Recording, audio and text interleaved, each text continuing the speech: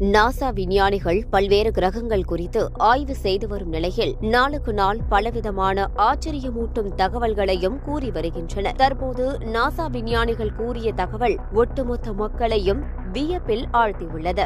NASA விஞ்ஞானிகள் செவ்வாய் கிரகத்தில் தொடர்ந்து ஆய்வு மேற்கொண்டு வருகின்றனர். அந்த வகையில் தற்போது மேற்கொண்ட ஆய்வில் திரவ நீர்த்தேக்கம் இருப்பதை கண்டுபிடித்துள்ளனர். ஏற்கனவே செவ்வாய் கிரகத்தில் ஏரி உள்ளிட்ட நீர்நிலைகள் இருந்து வந்தாலும் நீர் உறைந்திருக்கும் மேற்பரப்பை போல இல்லாமல் இருந்தது. ஆனால் தற்போது திரவ நீரை தக்க வைக்கும் அளவுக்கு வெப்பநிலை இருப்பது நாசாவின் இன்செட் லேண்டர் நடத்திய ஆய்வின் மூலம் தெரியவந்துள்ளது. செவ்வாய் கிரகத்தில் மேற்பரப்பில் சுமார் 12 கிலோமீட்டர் முதல் இருபது கிலோமீட்டர் வரை நீர்ப்பரப்பு அமைந்துள்ளது என்றும் இந்த நீர் முழுவதும் செவ்வாய் கிரகத்தில் உள்ள பாறைகளுக்கு இடையில் தேங்கி நிற்பதாகவும் விஞ்ஞானிகள் தெரிவிக்கின்றனர். இது தொடர்பாக நாசா புகைப்படம் ஒன்றையும் வெளியிட்டுள்ளது. அது மட்டுமின்றி திரவ நிலையில் இருக்கும் இந்த நீர்த்தேக்கம் உலகளாவிய அளவில் முழு கிரகத்தையும் உள்ளடக்கும் வகையில் அமைந்துள்ளது என நாசா விஞ்ஞானிகள் கூறியது ஒட்டுமொத்த மக்களையும் ஆச்சரியத்தில் ஆழ்த்தியுள்ளது.